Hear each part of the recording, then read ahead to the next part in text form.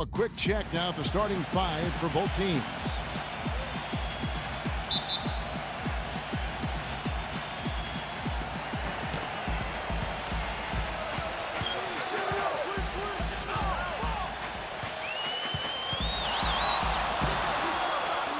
And for the home team, to the middle, number five. And he goes strong with the one-handed jam. Rising high to throw that one down. Sky high, fantastic one-hand jam. Yeah, what a way to wrap up that possession.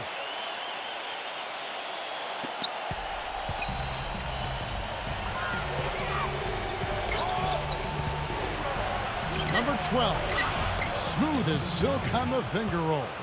Great move to the hoop, and I love the finger roll finish. And I think Doris Burke has something for us right now. Doris?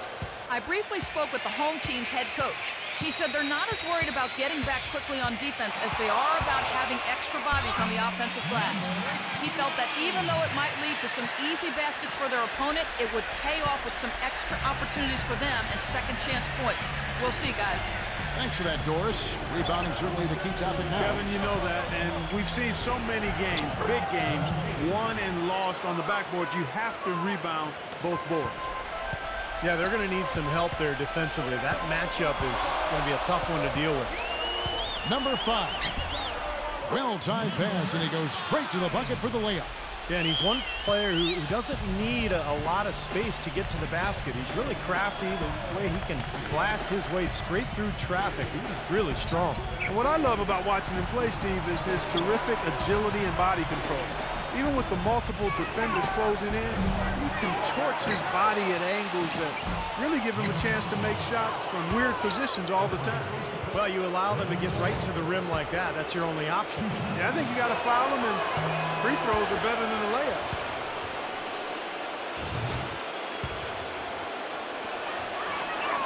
And that one goes in. Two from the line that time. And at the free throw line, it's all about consistency with him. Same routine, same stroke. Lets it go from deep. Gets it to go. He has seven. They're off and running. Good start here. They've knocked down four of their first five. Gone two or three here to start off the game. We're just about two minutes into the first quarter. Pass to Allen. Shot clock at six. And they wasted no time getting those three points back. Incredible. Only took them a few seconds to answer the three ball with one of their own. Let's keep this thing going, guys. I love seeing a three-point battle like this. And that one's good. Boy, I tell you what, he loves getting looks like that from the three-point line. No one near him. That's a warm-up jumper for him. First quarter of basketball, just over two and a half minutes play. Number six. And the officials call goaltending, so they'll award the basket. He almost got to that shot in time, but not quite. You can't touch the ball once it's on the way down.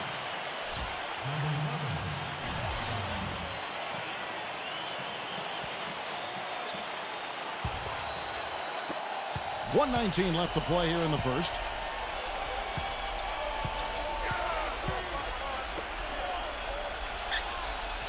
Dishes it to Allen. Off target at the rim. The defense was ready for him that time, and they had to be. He is so powerful in the lane. Down low. Oh, trying for it. It's stolen. And here's the break. Number six. An amazing finish with a hand right in his face. That's just run-of-the-mill for him. A typical day at the office. He's one of the more skilled offensive players out there. It's picked off.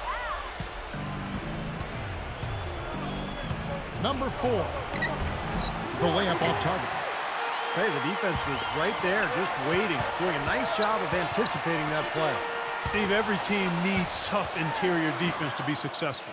And a foul called on the shot. Got him on the way up that time, so he'll shoot two right here. Obvious foul. Yeah, he took a hit right there and earned those free throws. And he's good on the second. Even with the one miss, he still stretched it to a two-possession game. That's big for them right now. Shot and game clock separated by five. There's the pick.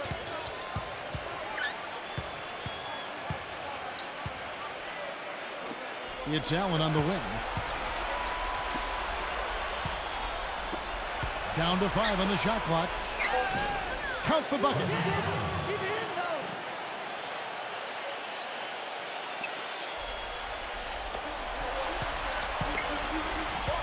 Number five. Boom, he jams it straight down. Flying high and throwing down the hard one-hander. One of his favorite moves right there, guys. And he does it as well as anyone. Tremendous skill in the air. And they're scoring pretty well as we conclude the first. All right, the second quarter beginning in just a moment. Guys, what's your take on the home team so far? And a good start for this club. I like the way they played together, really moved the ball and did a nice job offensively. Yeah, excellent ball movement, and it's paid off on the scoreboard, too.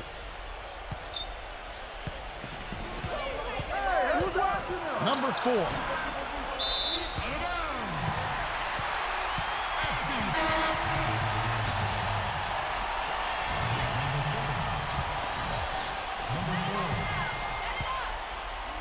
Number seven, defended by Allen.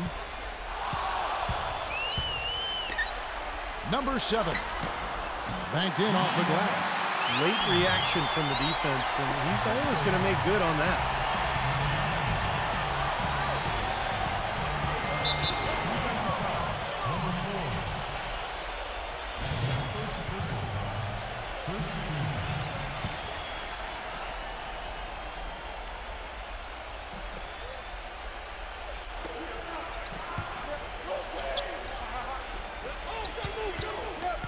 To the paint. Stolen. That's really a good picture of what not to do on those last two possessions. I mean, they're being way too casual with the ball. Yeah, it's going to cost them if they keep it up. They need to get back to playing efficient basketball. Number four. Number 12. And he makes it look easy, dunking it hard with one hand. Pure hustle on that play, and that's what it takes on the offensive boards. It's not about ability as much as it is desire. And that Clark and some muscle. And he showed us he's got plenty of that with the huge dunk. Well, in a tight game, I mean, they could use a few more of those hustle plays going forward if they're going to win. Gets it to go. Eight points for him. Well, he's a spot-up shooter, one of the best. One of those guys who, if you give him an inch, I mean, that's all it takes. He will let it fly and frequently knock down that shot. And Steve, he's a player that's extremely hard to cool off. I mean, he picks up right where he left off after every break in the action, it seems. Timeouts, halftime, it doesn't matter. When he's hot, he stays hot.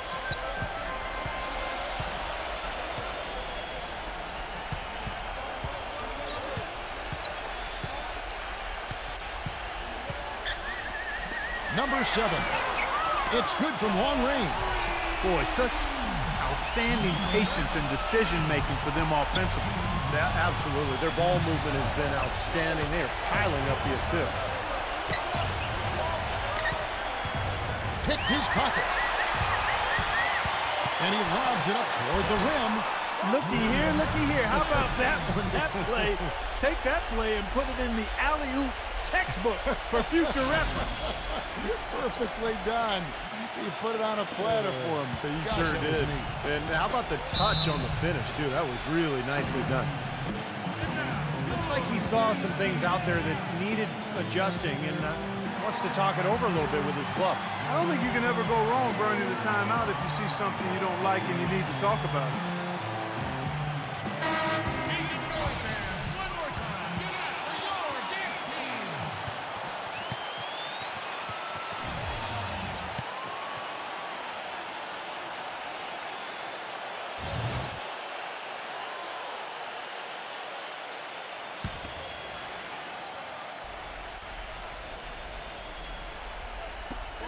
There's 138 left to play here in the second quarter.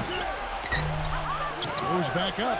And the layup is up and in. He's got six. Boy, where was the box out? Too easy on that second chance opportunity. Yeah, no box out is what happened there. Those kind of mistakes on the glass will kill a team.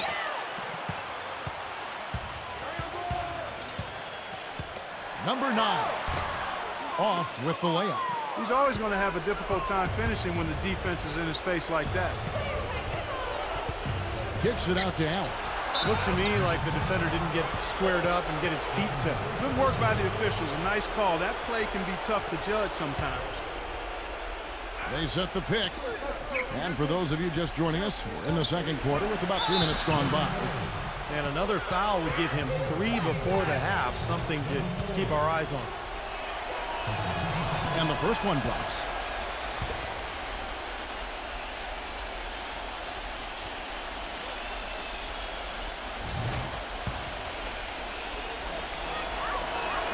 And he makes both free throws. Gotten both of their three-point attempts to go down here in the second quarter.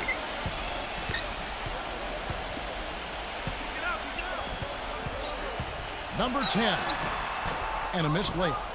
Well, the effort was there, but he just couldn't quite fight his way through traffic. Here in the second quarter, just under three and a half minutes played, number six, Allen fires, gets a very good look and converts. They found the open man on the perimeter and got the ball to him. Gotten off four shots from three-point range tonight and buried every one of them.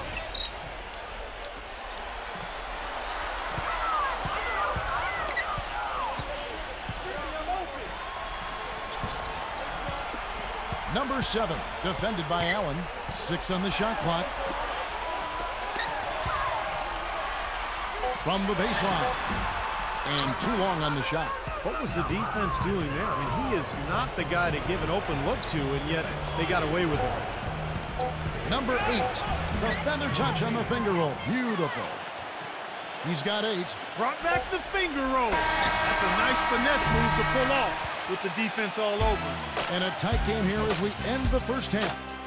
Now, presented by Sprint. Welcome to the halftime report for this Thursday night. The Sprint Halftime Report, presented by Sprint. Welcome back to Philadelphia, Pennsylvania. The statue of its founder, William Penn, our view.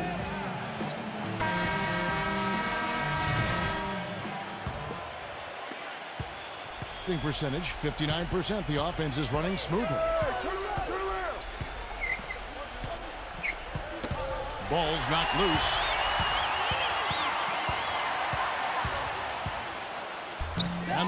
Good after a nice lead pass. Yeah, he put himself in great position to finish that break off, guys. Yep, right to the rack.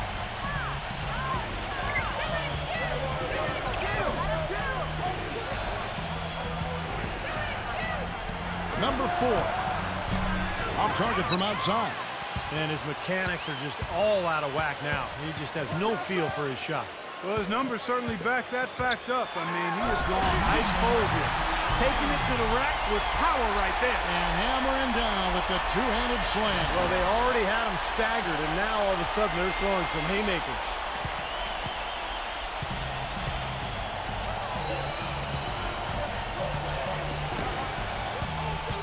And a minute played as the second half gets going. Offensive rebound, number eight. Nice work on the boards, paying off with the basket. He's got 10. Boy, the D has to show a little more fight on the interior than they did on that trip. They've got a battle inside. Well, this game has been tough, Clark. I mean, they're getting after it, and I think they're starting to run a little bit low on energy, possibly. Number seven.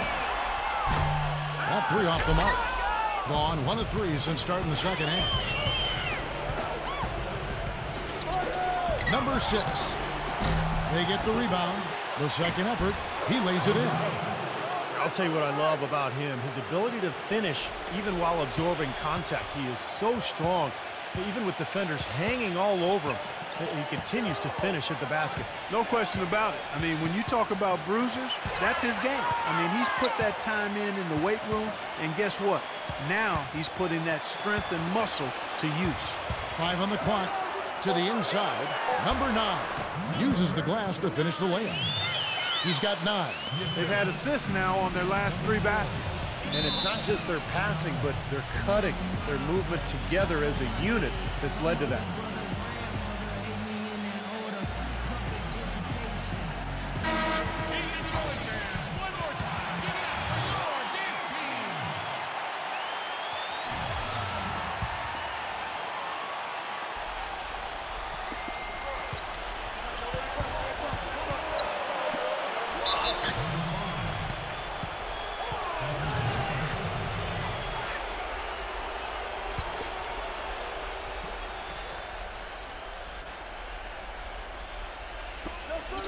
146 left to play in the third.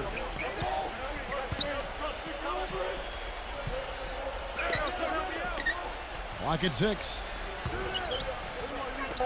Number six. Traps in the trey. He's got five. Oh, he's going to keep banging those home if you give him that much space.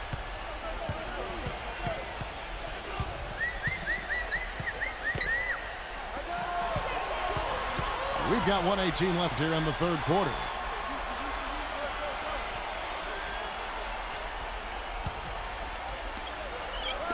It's tipped.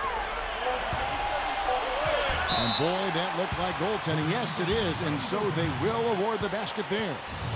He thought he had that one clean, but the ref saw it differently. They'll count the basket. Defensive foul. Number four. Two shots. And he knocks down the first one.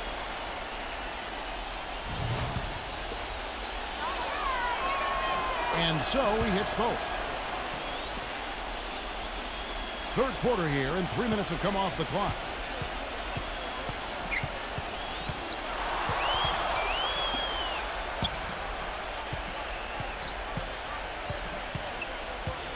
Number seven, defended by Allen. And count it, the shot is good. He'll go to the free throw line. I don't know what's happening to their defense. I mean, they, they don't have any effort, any purpose. And it's really costing them. I mean, the last five baskets at that end have been on very easy looks. Gone one of four and three-point shots here in the third. Wide open.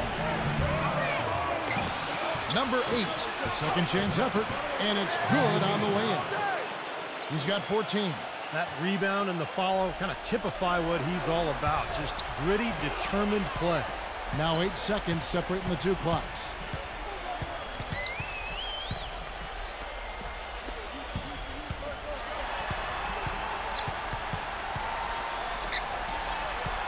Six to shoot. Number seven. Accurate with the jumper from the elbow. This game has taken on a new feel since halftime. For sure, the energy level on both sides has gone way up after the break. Number eight. No good. And we've reached the end of the third. The home team, they lead by four. And we're coming back in just a moment. Get And thanks for joining us again as the fourth quarter of play is set to get rolling. It's been a close battle to this point. And the home team has possession. They've led by as much as 10.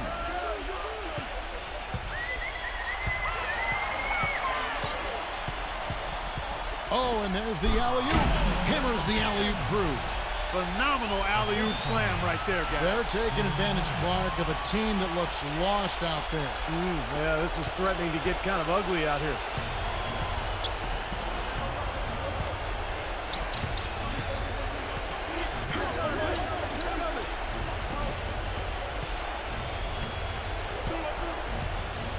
Allen outside. Number. And it's wide right. Hits off the rim. And this is why you need size inside, the ability to contest shots and force misses. Steve, that's exactly right. Even when you get in close, it's still a tough shot. Number five. Defended by Allen.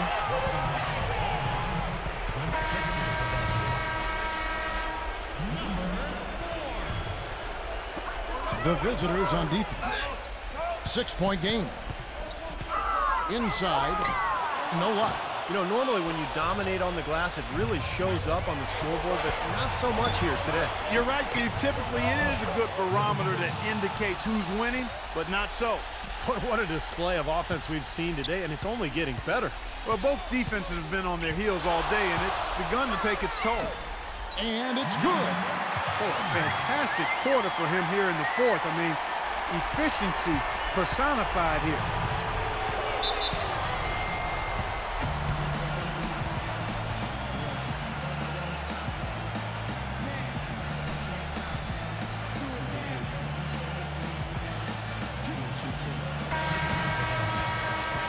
Let's find out what Doris Burke has for us. Hi, Kevin. The head coach for the visiting team had some instruction for his guys during that last break. They've been getting torched with all these shots from long range, and he simply said, we can't lose track of their shooters, guys. We're overhelping inside, and it's leaving them wide open. Can they make the adjustment, guys? Number seven, defended by Allen.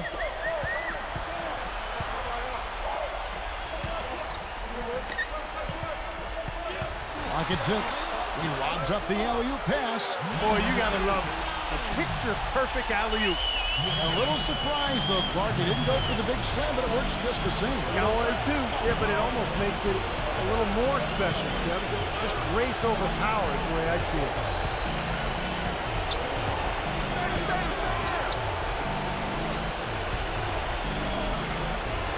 All sorts of time. No good. Guys, a good chance for them to slow it down. Yeah, I agree. Got to use some clock here. And over two and a half minutes in the books here in the fourth. Number five. And it's going to be two free throws. Drew contact on the shot. Well, at least the defender got his money's worth on that one. Yep, that was an easy whistle for the official. Gets the first, and that will put them up by nine. So he gets them both.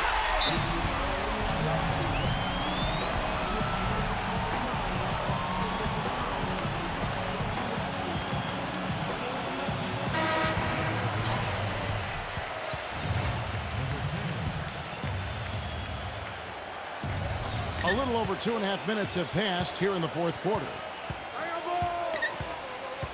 The feed now to Allen. Down low, number six. Shot denied.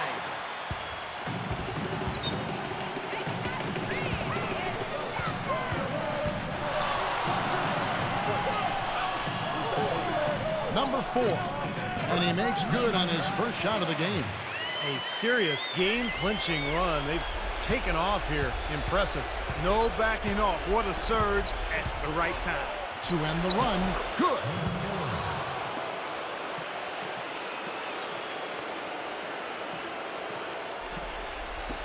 Fifty-one seconds left in the fourth quarter, and that goes out of bounds. They'll keep possession.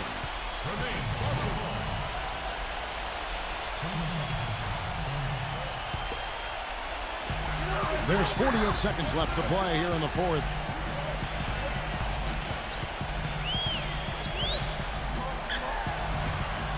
Whoops, anticipated the pass. Turnover. Here's the break.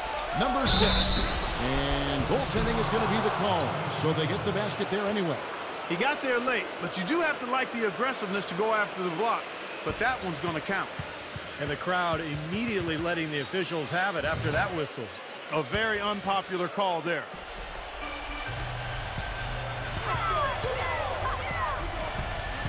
We've got a nine-second difference between the shot clock and the game clock.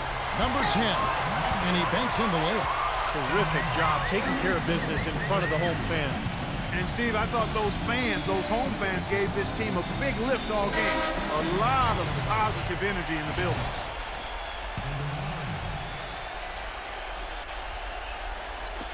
Twenty-four seconds left in the fourth quarter of this one. Gets it to go.